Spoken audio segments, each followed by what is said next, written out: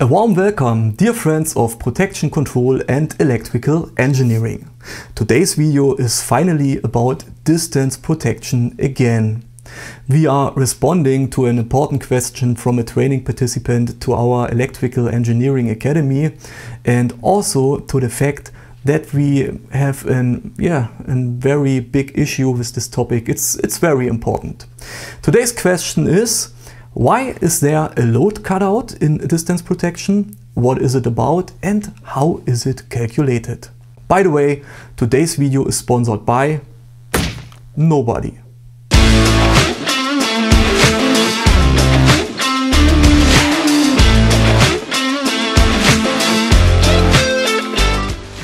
As always, let's start with the question why. Why is there a load cutout in distance protection? The figure shows the typical load scenario in a meshed network in RX diagram. In the first and the fourth quadrant on our right side in the picture, we see the load in the forward direction and in the second and third quadrant, we see the load of the backward direction. To keep it simple, in the following we only focus on the forward direction and ignore the load in backward direction. So, what do we notice when we look at the Rx characteristic of the load in the forward direction? We can see that the load area consists of mostly resistive parts that it intersects the r-axis and accordingly can have both a positive x and a negative x. This means nothing more that then our load is based on a large extent on active power flow and can also be either inductive or capacitive. Our load vector will now be somewhere in this area marked in red as long as we are in a fault-free operating state we will not leave it. In order to be able to describe the limit ranges of this load impedance, which is important for distance protection, we start with two simple network parameters. First, there is the amount of the smallest load impedance, which forms the lower left limit of our load. Now we can see where this limit runs and everything that now passes below this limit can no longer be described as an error-free operating point. The second variable is the maximum load impedance angle that occurs at full load, which tells us how far our phasor turns in the direction of the reactance axis. And with these two variables, or with the smallest load impedance and the largest load impedance angle, we can now nail down the limits of our load range and describe them with sufficient accuracy. In the following step, we now want to look at what the impedance jump looks like in the event of a short circuit. To do this, we first draw an idealized overhead line in our RX diagram you can now see the impedance vector of our power line, which could of course also be a high voltage cable, but the vector would not be aligned quite so steeply in the direction to the x-axis since the x to r ratio of typical cable networks is smaller than that of overhead lines. We now see the electrical footprint of our electrical projected object in our diagram. Let's now start from a slightly inductive operating point in the load area. You can see it as a point here. In case of a short circuit, this point will jump on the vector of the power line.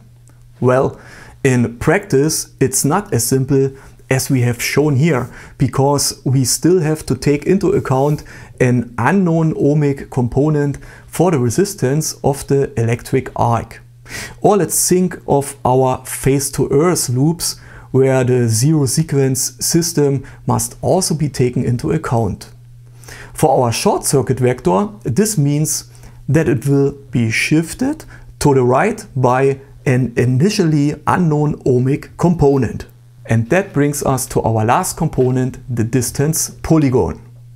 For our consideration today, it is irrelevant whether this is a pickup or a tripping polygon. It is important for us that we realize that the short circuit is within the polygon. And that's precisely the job of a polygon.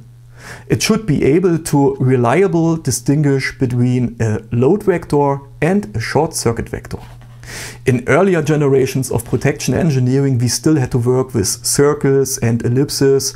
Also, the ellipses were nothing more than circles combined with one another. Today, we found ourselves in a comfortable situation with digital distance protection.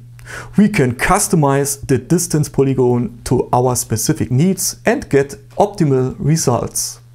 And that brings us to the answer of our first question.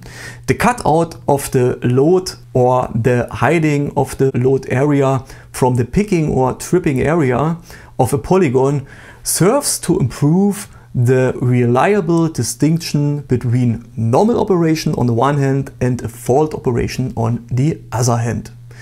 Because with particularly long power lines that are very heavily loaded, there's a high risk that the positive sequence impedance will reach into the tripping area of our polygon in a fault-free state and the device will overfunction as a result of overload and will pick up or trip incorrectly.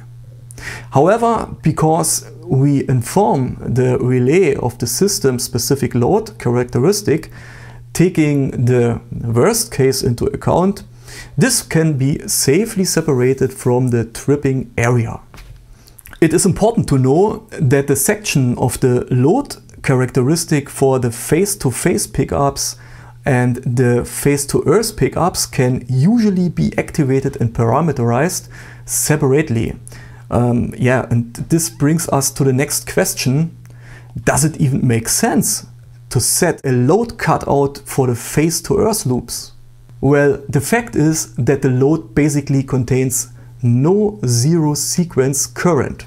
Uh, so the load consists of a positive sequence system and if it's not completely symmetrical, it may have a negative system. A zero component on the other hand is impossible. The zero sequence system only appears in the event of a fault with ground contact. But guess what? In practice, the load cutout is activated for the phase to earth or phase to ground loops as well. The reason for this in the event of a single phase tripping of neighboring lines, zero sequence systems can be coupled. It is now important here that we have also activated the load cut for the phase to earth loops. How can we now calculate the two parameters to determine the amount and the angle for the load section? Well, let's do an example.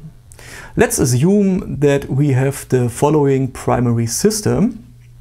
We got the 110 kV overhead line with a cross section of 300.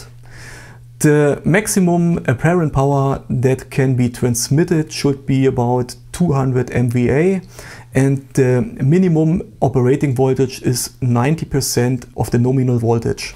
We have a 1.2 kiloamps to 5 amps CT ratio and our voltage transformer has a ratio from 110 kV to 100 volt. All we have to do now is to calculate the smallest load impedance and the largest load impedance angle, add a small safely factor to each and convert the results to the secondary side. Okay, let's get started. The amount of the smallest primary load impedance is calculated easy from the quotient of minimum operating voltage and the maximum operating current that can be transmitted. For our example, we get a value of 54.4 ohm. Now we convert the primary impedance to the secondary side by multiplying the quotient of the current transformer ratio and the voltage transformer ratio by the primary impedance and a safety factor of 0.9. As a result, we get a final setting value of 10.7 ohm. We set the angle of the load cutout at a value increased by 5 degrees from the maximum occurring load angle or accordingly to the minimum power factor. For example, if we assume a minimum cosinus phi of 0.75, then the angle to be set is calculated from the I cosine of 0.75 plus a safely margin of another 5 degrees and results in 46.4 degrees. We can now either set these two values directly or adapt them to the vendor specific setting parameters and the load cutout is perfect. It is also important to know if we have a double line with zero sequence coupling, the cards are reshuffled again and somewhat more complex setting specifications apply. And that's it for today. Warm wishes, good luck and see you soon.